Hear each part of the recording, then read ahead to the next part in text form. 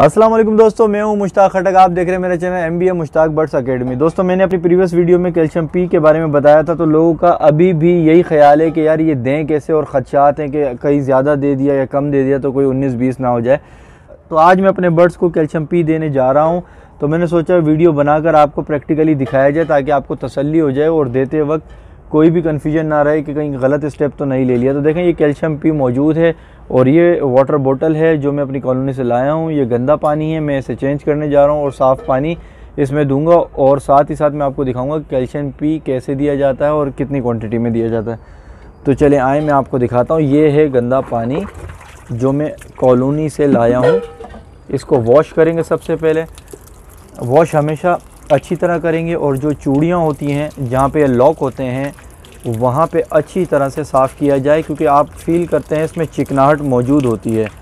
तो चिकनाहट को इस तरह से रगड़ें, इस तरह से साफ़ करें कि चिकनापन ना रहे। चिकनापन बेसिकली एक यूँ समझ लें कि गंदगी ही होती है, जिसकी वजह से वो फील हो रहा होता है कि चिकनाहट है। जब अच्छी तरह वॉश हो जाता है तो फिर चिकनाहट नहीं होती उसमें। फील नहीं होता कि चिकना है। इस बोतल को भी धो लें, ऊपर से, अंदर से, अच्छी तरह से धो लें।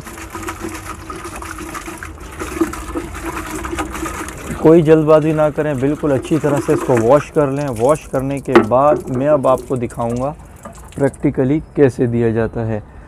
ये कैल्शियम पी की बोतल है, इसको मैंने खोला। खोलने के बाद मैंने ये बोतल निकाली लिक्विड लिक्विड को शेक किया। शेक करने के बाद इसके कैप को खोला। ये कैप इसका खुल चुका है, थोड़ा सा ज़ोर मांग रहा था।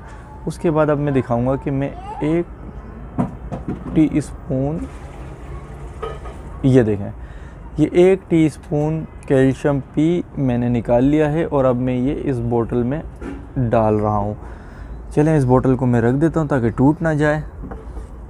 अच्छा अब देखें, इसमें स्पून में देखें, थोड़ा बहुत लगा रह जाता है तो इसको भी ये नलका लगा हुआ है, पानी आया, ये मैंने इसको इसी में साफ़ कर लिया।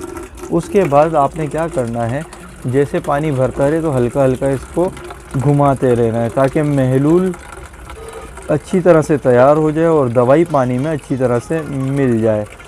देखें कैल्शियम पी, कैल्शियम की बेहतरीन सोर्स है और इसमें प्लस विटामिन डी भी होता है। जिन बर्ड्स को धूप कम लगती है, विटामिन डी की कमी हो जाती है तो उनके लिए तो ये बेहद ही ज़रूरी है। और कैल्शियम तो वैसे ही परिंदों की यूँ समझ लें जान है, उनको देना चाहिए, ज़रूरी है उनकी हड्डियों के लिए। उनके पर की ग्रोथ, उनकी हड्डियों की मजबूती, उनकी जिसामत के लिए बेहद ज़रूरी है। ये बोतल डेढ़ से दो लीटर की होती है, ठीक है। आप एक से डेढ़ लीटर में एक चम्मच भर के दें, कोई मसला नहीं है, ज़्यादा के चक्कर में नहीं रहना, लालच बुरी बला है, लालच में मत आ जाना। और एक और चीज़ मैं आपको भी बताऊँगा कि जब इसको आप ये भर चुका है मैं इसको बंद कर देता हूँ। अब मैं इस पर कैप लगाने जा रहा हूँ देखें। ये कैप है कैप लगाने के बाद अक्सर आप लोग देखेंगे कि आप जब इसको ऐसे उल्टा करते हैं तो जब आप इसको एक दो तीन घंटे बाद जब भी आप परिंदे को देते हैं तो इस बोतल को जब आप उठाएँगे तो आपको इसके सरफेस पे कैल्शियम पी का जो है वो, वो पिंक कलर का या वाइट कलर का दिखेगा तो लोग टेंशन में आ जाते हैं कि यार ये क्या है, ये कोई नहीं नॉर्मल चीज़ है, ये सरफेस में आके बैठ जाता है। इसका मतलब ये नहीं कि उनके पास परिंदों के अंदर नहीं जा रहा, वो पीते हैं तो उनके पास अंदर चले जाता है, उनकी बॉडी में वो चले जाता है, कोई मसला नहीं है। कैल्शियम पी देने का तरीका ये है कि भाई लालच में डेली बेसिस पे मत देने लग जाना, पता चले कि आपने सोचा बहुत अच्छी चीज़ है और आप डेली बेसिस पे देने लगे, हरगिज़ ऐसा ना करें। मैंने दो सिरप का ज़िक्र किया है अपनी वीडियो में वाइडलिन एम और कैल्शियम पी और वाइडलिन एम वाली जो वीडियो मैंने बनाई थी, उसमें भी मैंने ये इंस्ट्रक्शन दी थी कि कभी भी ऐसा ना करें कि सुबह वाइडलिन एम दे दिया, शाम में ये दे दिया, या सुबह ये दे दिया, शाम में ये दे दिया, या एक दिन वाइडलिन एम दिया, दूसरे दिन कैल्शियम पी दिया, इस तरह से प्रैक्टिस ना करिएगा। मैं आपको बता देता हूँ कि आज आपने अगर कैल्शियम पी दिया है तो दो दिन का वक्फ़ा दें, उसके बाद वाइडलिन एम दे दें। वरना एटली अगर ज़्यादा ही वीक हो रहे हैं और ज़्यादा जल्दी आपको चाहिए रिकवरी उनकी तो ज़्यादा से ज़्यादा ये कर सकते हैं कि आज ये दे दिया एक दिन का गेप दें, उसके नेक्स्ट डे वाइडलिन एम दे दें। एक दिन का गेप तो कम अज़ कम दें, उनको जो कमज़ोर हो रहे हैं, या ब्रीड अच्छी नहीं आ रही, या अंडे फर्टाइल नहीं है, अंडों के छिलकों में मसला आ रहा है, या उसके पेरेंट्स या बच्चे ग्रोथ नहीं कर रहे, उस सूरत में बता रहा हूँ मैं। अदरवाइज़ आप ऐसे ही करें कि आप एक दिन दें, कैल्शियम पी, दो दिन का गेप दें, दो दिन के गेप के बाद वाइडलिन एम दें। ये देखें, यहाँ पर लिखा हुआ भी आपके पास आ रहा है। कैल्शियम प्लस विटामिन डी, ठीक है? ये लाजमी दें, बहुत बेहतरीन चीज़ है और बहुत सस्ती चीज़ है। कोई लगभग साठ, सत्तर रुपये में आ जाती है, ये देखें। ये इसमें प्राइस भी है, ये देखें।